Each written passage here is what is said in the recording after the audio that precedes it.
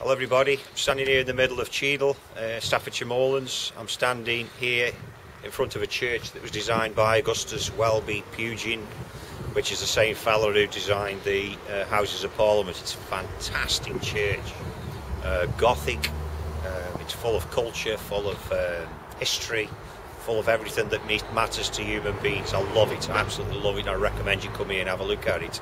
Um, that door, it's fantastic. Um, I've met with a group of people from Cheadle today. They phoned me up.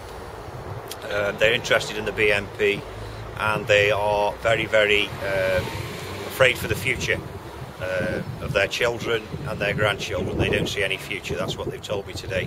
They're also not happy at being unemployed. I've, I've learned today that there's mass unemployment in Cheadle and in the villages surrounding Cheadle.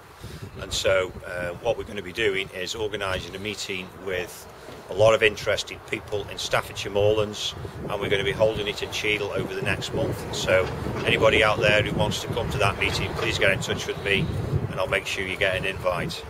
Um, just to say that uh, this church is uh, the jewel in the crown of Cheadle, and uh, it's uh, an example of the sort of architecture that I love. So, thank you for that.